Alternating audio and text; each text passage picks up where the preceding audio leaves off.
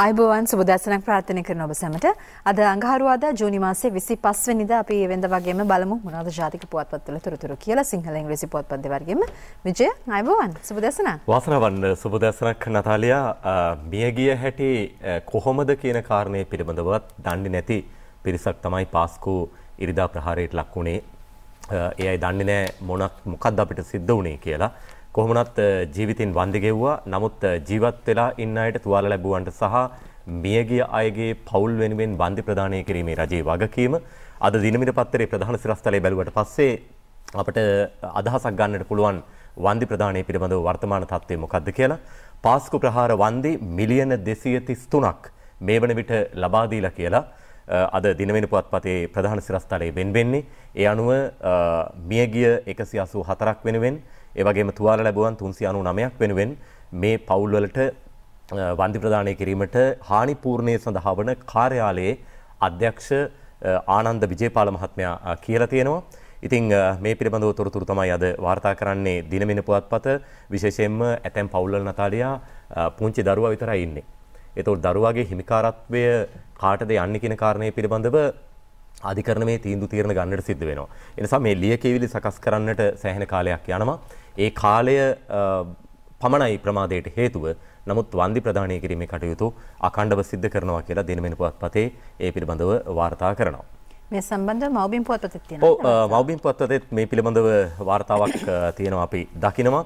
ඒ අනුව මේ විශේෂයෙන්ම මීට කිට්ටුවෙන් යන පුවතක් ආරක්ෂාව පතා කැමරා සවි කිරීම නොව නියමාකාරව ත්‍රස්තවාදීන් මර්ධනය කිරීමයි කළ යුතුව තිබුණේ කියලා ත්‍රස්තවාදීන් ගැන සොයා බැලීම තවමත් පැහැදිලි කාරණයක් නෙවෙයි කියන අදහස මල්ලොතු පාර්ශවයේ මහානායක අතිපූජ්‍ය තිබ්බටුවාවේ ශ්‍රී සිද්ධාර්ථ සුමංගල මහානායක මහින්පණන් වහන්සේ සඳහන් කරන කාරණය අද මව්බිම් පුවත්පතේ වාර්තා කරන විට රැස පුවත්පතෙත් මේ පාස්කු ප්‍රහාරය සම්බන්ධවම තොරතුරක් වාර්තා කරනවා. ඒ අනුව විශේෂයෙන්ම පාස්කු ඉරිදා ප්‍රහාරයේ කමිටු වාර්තාව ජූලි මස කතානායකතුමාට ලබා දීමට කටයුතු කරනවා කියලා රැස පුවත්පත ඒ පිළිබඳව තොරතුරු වාර්තා කරන්නේ ජූලි මාසයේදී මේ වාර්තාව ලබා දීමට කතානායකතුමාට වාර්තාව ලබා දීමට සූදානම් කියලා. කොහොමද ඉංග්‍රීසි පත්තර? ඉංග්‍රීසි පත්තරවල මේ සම්බන්ධව මේ පාර්ලිමේන්තු තේරීම් කාරක සභාව හමුවේ හෙට දින පෙනී සිටීමට නියමිත පුද්ගලයන් පිළිබඳව වාර්තා කරන විශේෂම හිටපු අමාත්‍ය රිෂාද් බදුදීන් මහතා ඒ වගේම හමුදාපති මහේෂ් සේනනායක මේ හැම දෙනාම අතරේ තවත් අමාත්‍යංශ ලේකම්වරුන් කීප දෙනෙක් මේ විදිහට තොරතුරු වාර්තා කරන ද ඩේලි නිවුස් පුවත්පතේ probe into Easter Sunday terrorist attacks Rishad an army commander before PSC tomorrow Former Minister Rashad Baduddin and Army Commander Lieutenant General Mahesh Sinanayaka have been summoned before the Parliament Select Committee probing the Easter Sunday attacks tomorrow. And this meeting will start tomorrow at 2 p.m. And also, it is mentioned in this uh, particular report that uh, media would be allowed to cover the sightings. And also, the Industry and Commerce Ministry Secretary and an official of the Industrial Development Board have also been summoned on the same day. මේ විදිහට uh, හිටපු අමාත්‍යතුමත් ඒ වගේම හමුදාපතිතුමත් uh, මේ uh, පුද්ගලයන් දෙදෙනා ඇතුළුව තවත් හෙට දිනේදී මේ කමිටුව හමුවේ අදහස් ප්‍රකාශ කිරීමට තොරතුරු ලබා දීමට නියමිත අතර හෙට පසුරු දෙකට ආරම්භ කරන මේ රැස්වීමේදී නැත්නම් මේ කමිටුවාරයේදී ඒ අවශ්‍ය තොරතුරු නැත්නම් සජීවීව මේ මාධ්‍යට මාධ්‍ය ආවරණයක සඳහාත් ඉඩ ලබා දෙනවා කියලා තමයි වාර්තා වෙන්නේ. ඒ වගේම අද ඩේලි නිවුස් පොතේම තියෙන තවත් වාර්තාවක් Attorney General directs to initiate criminal investigations against Hemasiri Fernando uh, for failure to prevent or minimize Easter Sunday attacks. හිටපු ආරක්ෂක ලේකම් uh, හේමසිරි ප්‍රනාන්තු මහත්මයාට uh, විරුද්ධව uh, දප්පුලඩි ලෙවේරා නීතිපතිතුමන් විසින් මේ පිළිබඳව අවශ්‍ය පරීක්ෂණ පවත්වන්නට පොලිස්පතිතුමාට දීපු නියෝගය තමයි මේ වාර්තා කරන්නේ. Attorney General Dappuladi Livera has directed acting IGP Chandana Vikramaratne to initiate criminal investigations against former Defence Secretary Hemasiri Fernando for his failure to prevent or minimize the Easter Sunday attacks. මේ ප්‍රහාර සම්බන්ධව ඒ ප්‍රහාර වලක්වන්නට හෝ එහෙමත් නැත්නම් ඒ තත්ත්වය මර්ධනය කරන්නට හෝ අවම කිරීමට හෝ පියවර නොගැනීම සම්බන්ධව තමයි මේ පරීක්ෂණ පවත්වන්නට අදාළ තොරතුරු අදාළ නියෝගය ලබා දීලා තියෙන්නේ. ඒ වගේම දී අයිලන්ඩ් පුවත්පතේත් අද වාර්තා කරනවා Top Sri Lanka defense official faces charges over Easter attacks. This is where Sri Lanka's most senior defense official on Monday uh, became the latest government figure to face a possible uh, criminal charges over major lapses linked to the Sunday, uh, Easter Sunday bomb attacks which killed nearly 258 people. මේ විදිහට හේමසිරි ප්‍රනන්දු මහත්මයාට විරුද්ධව මේ චෝදනා නැගීම සහ ඒ පිළිබඳව පරීක්ෂණ පවත්වන්නට පොලිසියට අවසර දීපු ප්‍රවෘත්තිය තමයි අද දී අයිලන්ඩ් පුවත්පතත් ඒ විදිහට වාර්තා කරන්නේ. ඔව් නතාලියා වගකීම බහර ගන්නට කෙනෙක් නැත්නම් නීතිය මගින් අධිකරණයේ මගින් වගකීම බහර දේවි නීති ප්‍රකාරව දැන් ඔබෝය සඳහන් කරපු කාරණා අද සිංහල පුවත්පත්වලත් සටහන් වෙනවා. ඒ අනුව නීතිපති දිගට හරහට වැඩ ඔබ කිව්ව වගේම නීතිපති දප්පුල ලිවේරා මහත්මයා. එතුමා මේ සම්බන්ධව ක්‍රියාත්මක වෙන ආකාරය පිළිබඳව අද මව්බිම් පත්තරේ කියන්නේ. හේමසිරිට එරෙහිව අපරාධ චෝදනා ගොනු කරන්න විමර්ශන අරඹන්න. දප්පුල වැඩ බලන පොලිස්පතිට නියෝග කරයි කියලා මව්බිම් පුවත්පත ඒ අතුරු වාර්තාවක් හැටියට සටහන් කරන විට අපි යමු අද පුවත්පතට අද පුවත්පතේ පාස්කුරිදා ප්‍රහාරය සම්බන්ධව සිදු කරන විමර්ශන කටයුතු සම්බන්ධව මේ කියන්නේ හේමසිරිට එරෙහිව අපරාධ විමර්ශනයක් අපරාධ විමර්ශනයක් සිද්ධ වෙන්නේ. ඒ අනුව හිටපු ආරක්ෂක ලේකම් හේමසිරි ප්‍රනාන්දු ප්‍රබල ලෙස රාජකාරිය පැහැර හැරලා කියලා දැනට මේ තොරතුරු අනාවරණය වෙමින් තියෙනවා. ඒ වගේම අපරාධ විමර්ශනයක් ආරම්භ කරන ලෙස නීතිපති වැඩබලන පොලිස්පතිට ලිඛිතව නියම කරයි කියලා අද පුවත්පත මේ පිළිබඳව තොරතුරු වාර්තා කරන්නේ. ඒ වගේම දැන් හදපුවත් පතේම තවත් පුවතක් වාර්තා කරනවා. ඊට ඉස්සල්ලා අපිට පුළුවන් වෙනවා ලංකාදීප පත්තරේ කොහොමද මේ පොලිස්පතිතුමා සම්බන්ධ පොලිස්පතිතුමා ඉල්ලලා තියෙනවා විශේෂයෙන්ම පැමිණිල්ලක් ගොනු කළා එතුමා දොරින් ඉවත් කිරීම සම්බන්ධව ලංකාදීපවත් පතේ වාර්තාව හිටපු පොලිස්පතිගේ අයිතිවාසිකම් පෙත්සම පොලිස්පතිගේ විනය බලධරයා කවුද ප්‍රශ්නාර්ථයක් යොමු කරනවා විනිසුරු ප්‍රසන්න ජයවර්ධන. එතුමා විමසීම් කරනවා මේ කවුද පොලිස්පතිතුමාගේ විනය බලධරයා කියලා. බලධරයා ඇමති මණ්ඩලයයි කියලා උත්තරයක් ලැබිලා තිබෙනවා පෙත්සම්කරුගේ නීතිඥතුමා විසින්. තමුන් පොලිස්පති දුහරින් ඉවත් කිරීම වළක්වන නියෝගයක් ඉල්ලා හිටපු පොලිස්පති පූජිත් ජයසුන්දර මහතා ගොනු කර ඇති පෙත්සමට විරෝධය පළ කරමින් ජනාධිපති ලේකම්වරයා සහ ජාතික රහස් තොරතුරු අධ්‍යක්ෂවරයා විසින් ඉදිරිපත් කර ඇති දිවුරුම් ප්‍රකාශ ඇතුළු එම නඩුව සම්බන්ධ සියලු කරුණු අධ්‍යයනය කිරීමට ප්‍රමාණවත් කාලයක් අවශ්‍යයි කියලා කියලා තියෙන නිසා ජුලි මාසෙට ඒ කටයුතු ඉදිරියට අරගෙන තිබෙනවා. ඉතින් ලංකාදීප පුවත්පතේ ගැන තොරතුරු කියන විට අද පුවත්පතේ සඳහන් වෙන්නේ ඔබ කියපු ප්‍රවෘත්තිය වාර්තා කරනවා. පාස්කු ප්‍රහාරය සොයන පාර්ලිමේන්තු කාරක සභාව ක්‍රියාත්මක වෙනවා දිගටම මාධ්‍යයේ පිළිබඳව තොරතුරු වාර්තා කරනවා. රහස් තොරතුරු තියෙනවා නම් ඒවා මාධ්‍යයට නිකුත් කිරීමට කටයුතු කරන්නේ නැහැ කියලා මේ පාර්ලිමේන්තු කාරක සභාව පැත්තෙන් තොරතුරු වාර්තා වුණේ. රිෂාඩ් යුද හමුදාපති ගෙන්වයි ඒ කියන්නේ රිෂාඩ් බදවුදීන් සහ යුද හමුදාපතිතුමා මේ දෙදෙනාම පාස්කු ප්‍රහාරය සම්බන්ධ තොරතුරු හොයන පාර්ලිමේන්තු කාරක සභාවට ගෙන්වනවා. අගමැති ගෙන්වීමට තීන්දුවක් ගෙන නැහැ. ඊයේ පෙරේද පත්තරවල තිබුණ අගමැතිතුමත් කැඳවීමට සූදානම්, ජනාධිපතිතුමත් කැඳවීමට සූදානම් කියලා ඕනෑම නිලතලයක ඉන්න කෙනෙක් මේ පාර්ලිමේන්තු කාර්ක සභාවට ගෙන්වන්නට පුළුවන් කියලා අදහසක් මතුවෙච්ච නිසා ඉතින් හමුදාපතට කැඳවීමක් ලැබුණොත් යන්න වෙනවා කියලා හමුදා මාධ්‍ය ප්‍රකාශකතුමා කියලා තියෙනවා. නමුත් ජනාධිපතිතුමා කිව්වේ සක්‍රීය සේවයේ නිරත වෙලා ඉන්න අයට මේ පාර්ලිමේන්තු කාර්ක සභාවට යන්න අවශ්‍යතාවයක් නැහැ. ඒ සඳහා යොමු කිරීමක් කරන්නේ නැහැ කියලා. කොහොමනත් යුද හමුදා මාධ්‍ය ප්‍රකාශකතුමා කියන්නේ හමුදාපතිතුමාට එන්න කිව්වොත් යන්න වෙනවා කියලා. ඩෙලි මිර පුවත්පතේ තියෙන තවත් වාර්තාවක් මේ එක්සත් ජාතීන්ගේ මානව හිමිකම් පිළිබඳ කොමසාරිස්වරිය මිෂෙල් බැචලට් මහත්මිය කරපු ප්‍රකාශයක් concerns over tensions after Easter Sunday attacks says the UNHR chief where the UNH, uh, UN High Commissioner for Human Rights Michelle Bachelet yesterday said that she was concerned that the terrorist attacks two months ago in Sri Lanka have fueled increasing tensions and meanwhile මේ අතුල් පිට වාර්තාවේ දැක්වෙනවා තුමි මේ අදහස් දක්වලා තියෙන්නේ එක්සත් ජාතීන්ගේ මානව හිමිකම් පිළිබඳ හතලිස් එක්වන සැසිවාරයේ ආරම්භක ඒ අවස්ථාවට සහභාගී වෙමින් ශ්‍රී ලංකාව ගැන මේ ප්‍රහාර ගැන එතුමිය අවධානය යොමු කරලා තියෙනවා.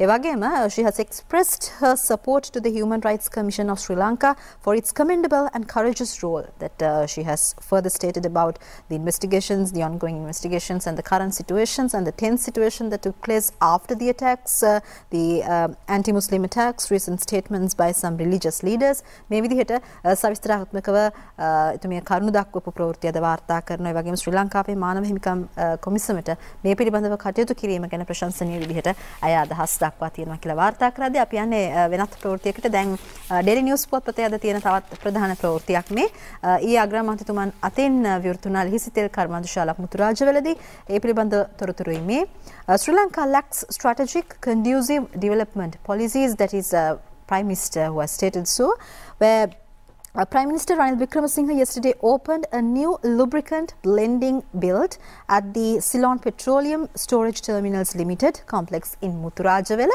uh, with an investment of 30 million US dollars by Malaysian manufacturer of petroleum derivatives Hyrex Oil. And as you will be seeing on the photograph that uh, Prime Minister is receiving a product from the company's group director, uh, Deto Hazima Zainuddin and Minister Kabir Hashim, Deputy Minister Anoma Gamage and Malaysian High Commissioner were also present at this occasion which took place yesterday at Muturajawela. මතන මේ පිළිබඳව සිංහල පුවත්පත් පවාද වාර්තා කරනවා නේද විජය? ඔව් මොනවද අලුතෙන් හදපු කර්මාන්ත ශාලා කියලා හුඟක් අය ප්‍රශ්න කරනවා. දැන් මේ මුතුරාජවෙල ලිහිසි තෙල් සම්මිශ්‍රණ කර්මාන්ත ශාලාව විවෘත කළා. ඒ අවස්ථාවට අග්‍රාමාත්‍යතුමා සහභාගී වුණා. මේ නතාලියා දහනමෝන ආණ්ඩුක්‍රම ව්‍යවස්ථා සංශෝධනය ගෙන එන්නෙම බලය එක තැනකට ගොනු වෙලා තියෙනකොට බෙදීම් වැඩි වෙන්න පුළුවන්. ඒ නිසා කාට කාටත් බලය බෙදලා යනකොට සාමූහිකව වැඩ කරන්න පුළුවන් කියන අදහස ඒ දවස්වල හුඟක් කතා වුණා. දැන් අග්‍රාමාත්‍යතුමා කියන්නේ දේශපාලඥයන් බෙදී ඊට පස්සේ විවේචනයෙන් අනාගත පරපුරට දියුණු රටක් උරුම කරගත නොහැකි කියන කාරණය අග්‍රාමාත්‍යතුමා මේ උත්සවයට සහභාගී වෙමින් සඳහන් කරනවා. ඒ අනුව දේශපාලන පක්ෂවලට බෙදී එකිනෙකා විවේචනය කරමින් අනාගත පරපුර දියුණු රටක් උරුම කර දිය නොහැකි බවත් දේශපාලන බෙහෙදයකින් තොරව රට ගොඩනගමින් තරුණ පරපුරට දොරටු විවර කර දීම කළ යුතු කාර්යයක් බවත් අග්‍රාමාත්‍ය රනිල් වික්‍රමසිංහ මහතා සඳහන් කරනවා. ඉදිරි වසර පහ තුළ රටේ අපනයනය ශක්තිමත් කර නව තාක්ෂණය උපයෝගී කර ගනිමින් ශීඝ්‍ර සංවර්ධනයක් කරා රට ගෙන යාමට කටයුතු කරනවා කියලා අගමැතිතුමා එතනදී කියලා තියෙනවා. මේ කාරණේම ලංකාදීප පුවත්පතේත් අපි දැක්කා තියෙනවා. එක එක්කෙනාට බැනලා අනාගතය හදන්න බෑ. ඒ අය දේශපාලනයේ ඉඳලත් වැඩක් නැහැ කියලා අගමැතිතුමා කියලා තියෙනවා. ඉතින් සාධනීය විවේචන වැදගත් වෙනවා. නමුත් අවලාද නැගීම් වලට වඩා අනාගතය ගැන කල්පනා කරන එක හොඳයි කියලා ජනතාවට හිතෙනවා. ඩේලි මිරර් පොත්පතේ තියෙන අග්‍රාමාත්‍යතුමන් මේ කරපු තවත් ප්‍රකාශයක් මේ එක්සත් රාජධානියෙන් සහ ඇමරිකා එක්සත් ජනපදයෙන් ඩොලර් බිලියන දෙකක් පමණ මුදලක් ශ්‍රී ලංකාවට ලැබෙන්නට නියමිතයි කියලා අද ඩේලි මිරර් පොත්පත මේ වාර්තා කරන ශ්‍රී Lanka getting 2 billion US dollars from UK and US says the Prime Minister. අපි ඒ සමග යන්න සූදානම් වෙන්නේ රැස පුවත්පතට. ඔව් රැස පුවත්පතේ දැන් මද්‍රව්‍ය නිවාරණ ජාතික සතියක් යළිත් වතාවක් ආරම්භ වුණා. ඒ පිළිබඳව තොරතුරු අද පත්තරවල තියෙනවා. පාසල් කටයුතු පාසලෙන් ආරම්භ කරපු වැඩ අසාර්ථක වෙන්නේ සාමාන්‍යයෙන් පාසල් දරුවෝ අහිංසකයි. ඊටාම හොඳින් ඒ කටයුතුවට සක්‍රියව දායක වෙනවා. මද්‍රව්‍ය නිවාරණ සතියේ පාසල් වැඩසටහන් සාර්ථකයි කියලා ජනාධිපතිතුමා කියන්නේ මේ කාරණේ නිසා. රැස පුවත්පත එය කියන විට දිනමින පුවත්පතේත් ඒ පිළිබඳව වාර්තාවක් තියෙනවා. දැන් මේ මේ මාසේ 26 වෙනිදාට තමයි යෙදෙන්නේ මද්‍රව්‍ය භාවිතය හා නීති විරෝධී ප්‍රවාහණයට එරෙහි ජාත්‍යන්තර දිනේ. දැන් ඒ දිනය නිමිති කරගෙන තමයි 23 වෙනිදා ඉඳලා පළවෙනිදා දක්වා මේ ජාතික මද්‍රව්‍ය නිවාරණ සතියක් ප්‍රකාශයට පත් කරලා තිබෙන්නේ. ඉතින් මත් නිවාරණ සතියේ පාසල් දිනය අතිසාර්ථකයි කියලා සඳහන් වෙන්නේ අන්තරාය කර ඖෂධ පාලක ජාතික මණ්ඩලයේ මූලිකත්වයෙන් දුම්මැටි මධ්‍යසාර හා අනිකුත් මද්‍රව්‍ය මර්ධනය හා නිවාරණය පිළිබඳ ප්‍රධාන පාසල් මේ උත්සවයේ ප්‍රධාන පාසල් එකට එකතු කරපු උත්සවය පවත්වලා තිබෙන්නේ. ඉතින් මෙතනින් තමයි මේ කාරණේ අනාවරණය වෙන්නේ. පුළුවන් තරම් දෙමව්පියන් ගුරු මව්පියවරුන් කල්පනා කරන්නට දරුවන් මේ මත්පැන් මද්‍රව්‍ය සහ දුම්මැටි වලින් වළක්වා ගන්නට.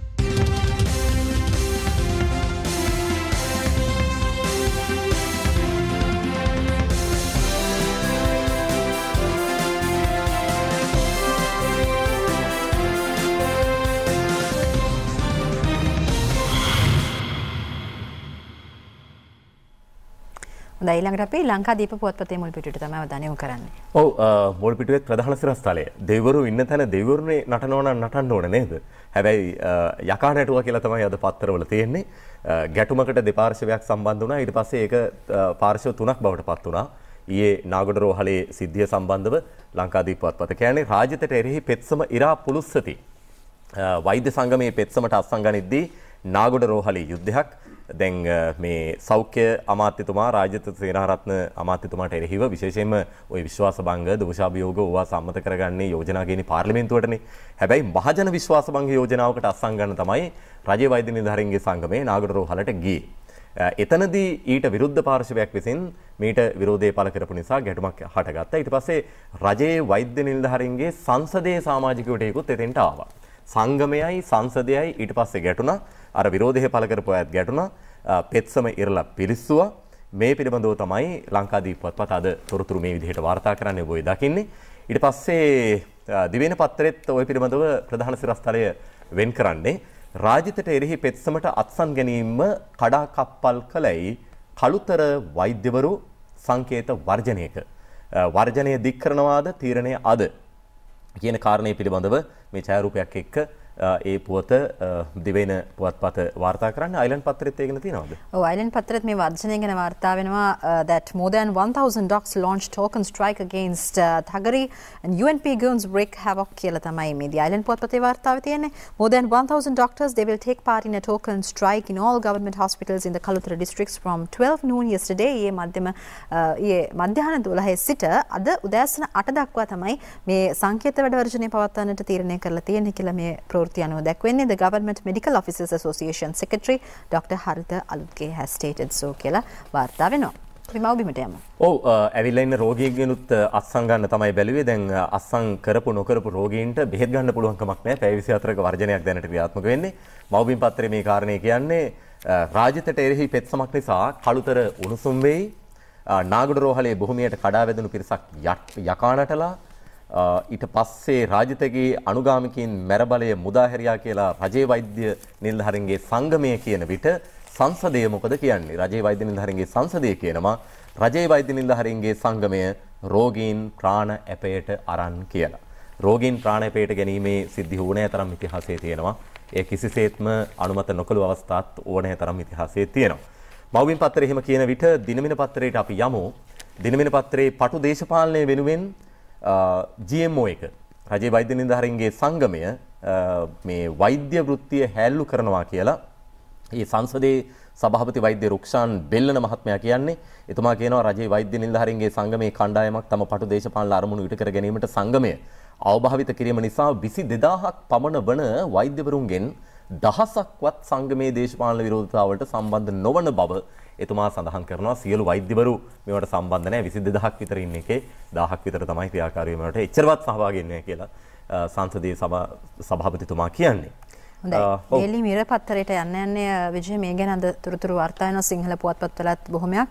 killing of 26 army and navy personnel, three ex-LTT members indicted and this incident took place in the year 2009 at the uh, probably the late onset of uh, the war back in the year 2009 on the 16th of January. 2009 වර්ෂ ජනවාරි 16 වෙනිදා වවුනියාවේදී සිදුවුණු මේ සිදුවීම යුද හමුදා බටයින් 18ක් සහ ශ්‍රී ලංකා නාවික හමුදාවට අයත් බටයින් 18ක් දෙනෙක් සහ ශ්‍රී ලංකා යුද හමුදාවේ බටයින් ඇතුළු 26 දෙනෙක්ව ඝාතනය කර පුලුස්සා දමපු සිද්ධියට සම්බන්ධ LTTE සංවිධානයේ සමාජිකයන් තිදෙනෙක්ට විරුද්ධව අධිචෝදනා පත්‍ර බාර දුන්න ඒ නඩු විභාගය අද වවුනියාවේදී වවුනියා මහාධිකරණයේදී ආරම්භ වීමට කටයුතු සූදානම් කියලා තමයි මේ තොරතුරු දැක්වෙන්නේ.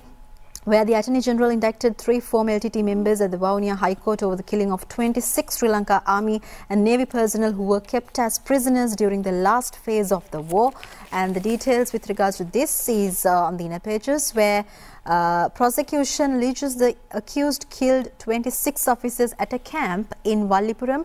Trial to commence today before Vaunia High Court Judge Ramanathan Kannan.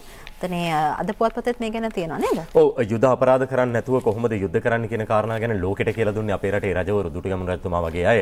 නමුත් ලෝකෙන් අපිට කිව්වේ අපේ හමුදාව යුද අපරාධ කරනවා කියලා චෝදනා කරනවා. මෙන්න ඉතිහාසයේ පළවෙනි වතාවට යුද අපරාධ LTT සංවිධානයේ සිද්ධ කරලා තියෙනවා කියලා සාක්ෂි ඇතුව ඔප්පු වෙන අවස්ථාවක් ඔබ කිව්වාගේ නාවික හමුදාවේ සෙබළුන් නැතුළු යුද හමුදා සෙබළුන් 26ක් ඝාතනය කරලා පුච්චලා තියෙන්නේ පෙට්‍රල් දාලා සීනිත් දාලා.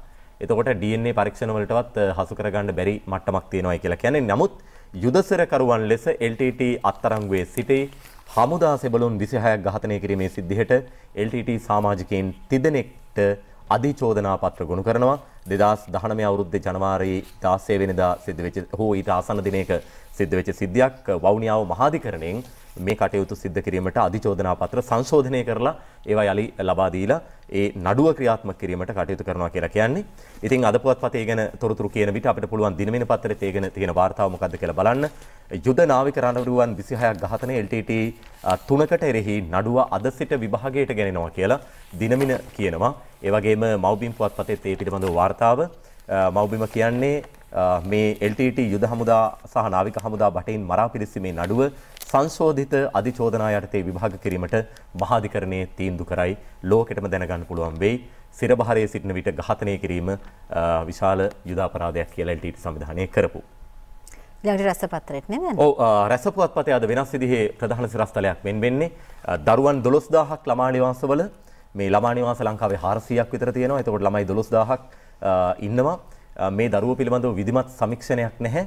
ඒ නිසා විධිමත් දීපව්‍යාප්ත සමීක්ෂණයක් සිද්ධ කරලා මේ දරුවන්ගේ ආරක්ෂාව සහ දරුවෝ හිරගත් වෙලා වගේ ඉන්න මට්ටමක් තියෙනවා නම් හුඟක් අය පොරොත්තු ලේඛන වෙලෙන් ඉන්නවා දරුවෝ දරුකමට හදාගන්න ඉල්ලලා.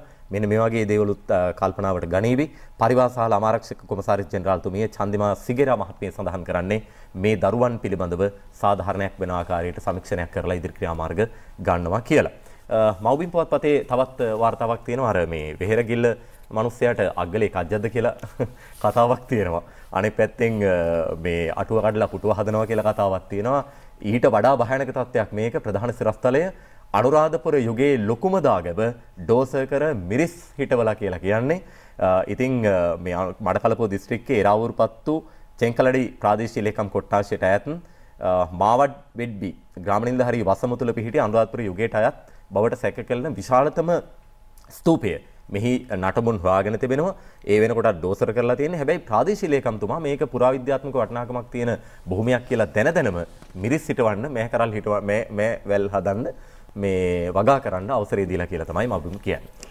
ඊළඟට ක්‍රීඩා පිටු දිහාවට අවධානය යොමු කරන්නේ පසුගියදා ශ්‍රී ලංකාව එංගලන්තයට එරෙහිව වාර්තා කරපු ජයග්‍රහණයත් එක්ක අද හැම ඉංග්‍රීසි පුවත්පතකම ක්‍රීඩා පිටුවේ මේ ප්‍රධාන ප්‍රවෘත්තිය වාර්තා වෙන්නේ මේ කුසල් මෙන්ඩිස් කරපු ප්‍රකාශ කිහිපයක්. ඉතින් එයින් මම මුලින්ම තෝරගත්ත ඩේලි නිවුස් පුවත්පතේ තියෙන ප්‍රකාශය I was scared when I dropped Stokes. තමන් බෙන් ස්ටෝක්ස්ගේ කඩුල්ල දවාගන්න ඒ කැච්ච එක මිස් කරපු වෙලාවේ බය වුණා කියලා කුසල් මෙන්ඩිස් විතරක් නෙමෙයි මුළු ලංකාවම බය වුණු අවස්ථාවක් ඒ ගැනම ඒ වගේම අද කුසල් මෙන්ඩිස් කියපු තවත් ප්‍රකාශයක් පුටුන සිලොන් ටුඩේ පුවත්පතේ I wish Malinga will coach Sri Lanka after retirement. අපි මේ පසුගිය දවස්වල මේ සාකච්ඡාවලදීත් කතා වුණා. ලසිත් මාලිංග විශ්‍රාම ගියයින් පසුව පුහුණු පුහුණුකරුවෙක් වෙයිද? එහෙමත් නැත්නම් විස්තර විචාරණයට මේ විදිහට කුසල් මෙන්ඩිස්ගේ අදහස වෙන්නේ. Will coach Sri Lanka after retirement කියලා.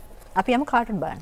ඔව් වෙලාවේ හැටියට අපි කාටුන් බලමු පංකජ රුවින්දගේ සරදම් අද ලංකාදීප පුවත්පතේ තේරීම් කාරක සභාවට අගමැතිතුමා යනවලු. බය නැති අගමැති කියලා සරදම් කියන්නේ රැසපත්තරේ ශ්‍රී කාන්තගේ ශ්‍රී දූපත අද කොහොමද කතාව. වීරවංශ කියනවා ජනතාවගේ බියතුරන් කිරීමට රජය අපහොසත් වෙලා කියලා බං බිල්ලු මවල ජනතාව බියවත් දන්නේ තුන්දලම තමයි සර් කියලා කියනවා. බලමු දිවයින පත්තරේ ෆේක්බුක් ජයන්ත වික්‍රමසිංහගේ රවි කියනවා එක්සත් ජාතික පක්ෂයේ මීළඟ ජනාධිපතිවරයා වෙන්න ඕනෑ හොඳ උගත්කමක් තියෙන කෙනෙක් කියලා. උගතෙක් වුණත් පට්ට හොරෙක් නම් කොහොමත් වැඩක් නෑනේ කියලා කියනවා. පට්ට හොරු උගත්තුද ප්‍රශ්නයක් තියෙනවා. සමයන් බලමු සුමතිපාල ජෝතිපාලගේ වාහනේ දෙන්නෙක් යන විට පැදවීම අමාරුයිලු තනියම වේගෙන් යන්න පුළුවන්ලු අගමැතිතුමානි පහුගිය දවස්වල කිව්වේ. ඒ වුණාට දැන් යන්නේ රිවර්ස් එකේනේ බං කියලා කියනවා. රිවර්ස් එකේ යන්න නම් හැබැයි තනියම බෑ. ඒකටත් දෙන්නෙක් තුන්දෙනෙක් උදව් කරන්න ඕනේ හොව් හොව් කියන්න නේද? අපි ගිහිල්ලාමද? අපි යමු. අපි හෙටත් මේ දින පත්‍රවල විස්තර අරන් එනවා. ඔබට සුබ දවසක්. අයබෝවන්.